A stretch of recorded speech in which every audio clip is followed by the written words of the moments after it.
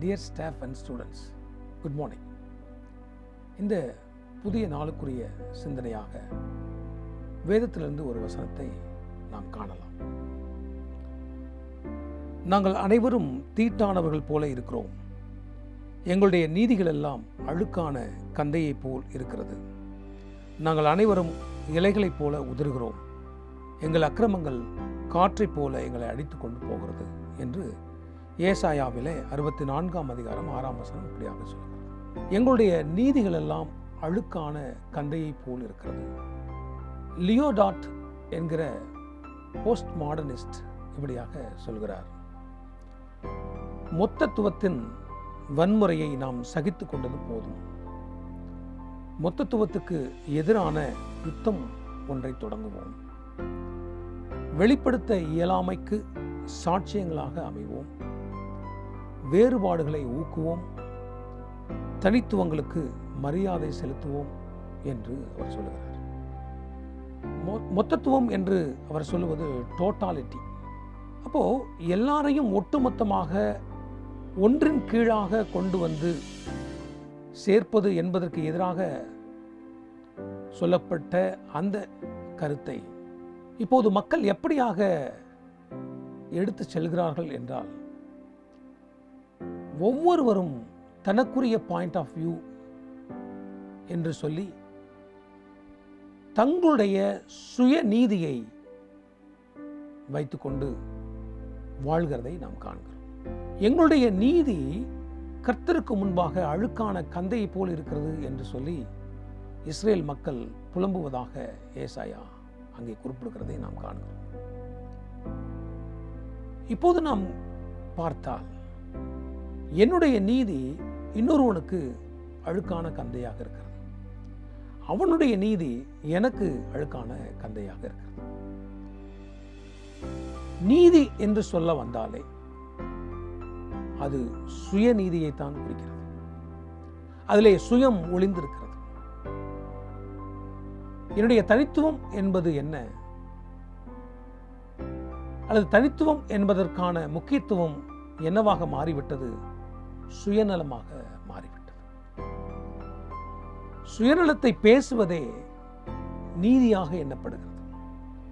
எனவே யாரிடத்திலும் நீதியை எதிர்பார்க்க முடியவில்லை. யாரிடத்திலும் நியாயத்தை நாம் எதிர்பார்க்க முடியவில்லை.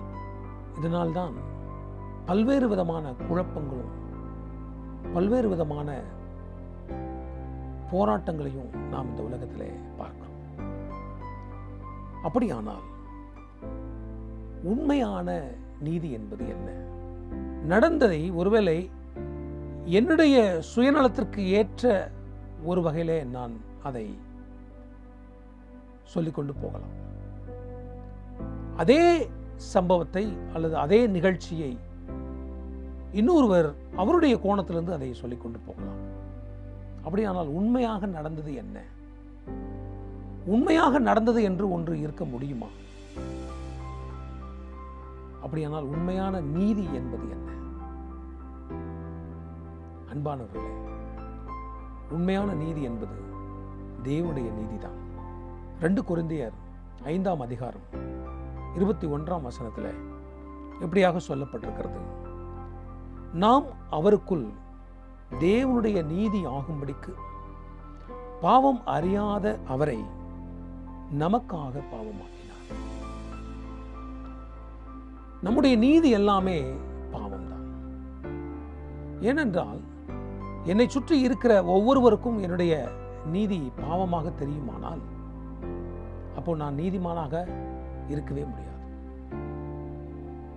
ஒவ்வொருவரும் அப்படி நீதிமானாக இருக்க முடியாத பட்சத்தில் நீதி என்பதே இந்த உலகத்தில் இருக்க முடியாது. அப்ப நீதி என்று ஒன்று வேண்டுமானால் அது தேவனுடைய நீதி மாத்திரம்தான். அந்த தேவனுடைய நீதி நமக்கு கிடைக்க வேண்டும் என்பதற்காக தேவனே பாவங்களை தன்மேல் போட்டுக்கொண்டவராக இந்த உலகத்திலே வந்து பிறந்தார். உங்களையும் என்னையும் நீதிமானாக்குவதற்காக. உங்களுடைய நீதியும் என்னுடைய நீதியும் நீதியாக பார்க்கப்படுவதற்காக அவர் இந்த உலகத்திலே பாவியாக மனிதனாக வந்து தன்னுடைய ரத்தத்தை சிந்தி நம்மை நீதிமானாக்கினார்.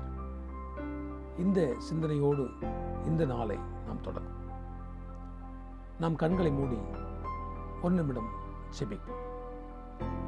அன்புல தகப்பனே இதோ இந்த புதிய நாளை நீர் தந்த கிருமைக்காக நமக்கு நன்றி செலுத்துகிறோம். எங்களுடைய நீதி மற்றவர்களுக்கு அழுக்கான கந்தையாக இருக்கலாம். மற்றவர்களுடைய நீதி எங்களுக்கு அதை போலவே இருக்கலாம்.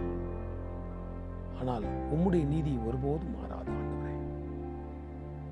அத்தகைய நீதியை நாங்கள் அணிந்து கொண்டவர்களாக. நாங்கள் வாழ எங்கள் ஒவ்வொருவருக்கும் உதவி செய்யும்.